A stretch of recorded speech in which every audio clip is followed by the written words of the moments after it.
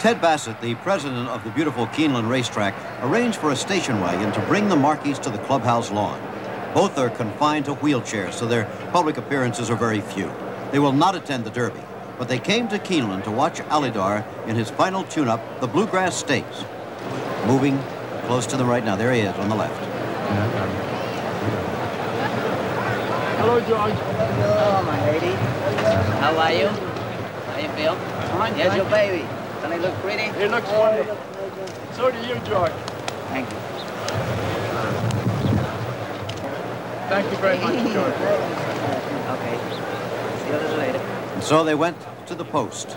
And as the horses came to the head of the stretch, the couple seemed to forget their arthritis and their wheelchair status. They left the station wagon.